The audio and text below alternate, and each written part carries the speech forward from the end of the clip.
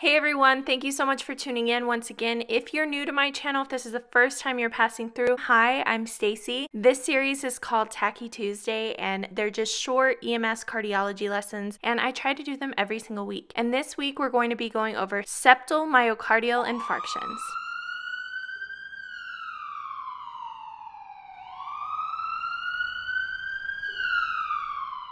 As always, let's just start with a quick definition. A septal myocardial infarction is a type of heart attack that typically indicates an occlusion of the left anterior descending artery or at the beginning of the branches of the left circumflex. So let's go into what we can look for on a 12 lead. With your septal MIs, your ST elevation is going to be in V1 and V2, and those are your septal leads. But just like I said, a true isolated septal MI is so rare that most of the time these patients end up finding they had a heart attack. It may be that they went in for a physical, or maybe they had some kind of other health issue that they went in and the doctor just did a routine EKG and the septal MI was then discovered. But a true symptomatic acute septal MI is, is very, very rare. Some of the causes and risk factors are very similar to basically any other type of heart attack advanced age, genetics, hypertension, smoking, diabetes, obesity, a buildup of arterial plaque, constant stress over time congenital defects, family history, an inactive or unhealthy lifestyle, heart disease, some of the signs and symptoms of a septal MI. Like I said, most of our patients are going to be asymptomatic or they'll get admitted into the ER or the hospital for something completely unrelated. But I will go through the symptoms that they could feel if, if they were symptomatic pain or pressure in your back, your jaw, arm, neck, dizziness, syncope, indigestion or heartburn, fatigue, shortness of breath, nausea, vomiting, abdominal abdominal pain, or maybe just that the patient is just not feeling like themselves. Let's take a quick look at a septal MI on a 12 lead. So, unfortunately, I've never seen one of these in person, and there's not even a picture of it in our book. But as always, 12leadtrainer.com coming in clutch provided a very good example of a septal MI. So, if you look at V1 and V2, you'll notice that there is ST elevation. And with an isolated septal MI, those are the leads that you're going to see ST elevation in. And some of our possible EMS treatments this would be in the case of a patient experiencing an, a new septal MI that is symptomatic. We'll get 12 lead, obtain a set of vitals, an IV or a blood draw, also oxygen, but we want to titrate the oxygen. We don't want to cause these patients hyperoxemia. Aspirin, nitroglycerin, and fentanyl. If you haven't already seen my video on FONA, that is one of the ways to remember all the medications that you give to your patient during the course of chest pain or a heart attack. And then fluid is always an option, but make sure you get a medical history history and talk to your patient and really understand their complaints. So that's about all I have for you today. I hope you learned something. I definitely did whenever I made this video because it's not something that you see very often, so I learned quite a bit. Thank you so much for watching, and I will see you next week. Bye!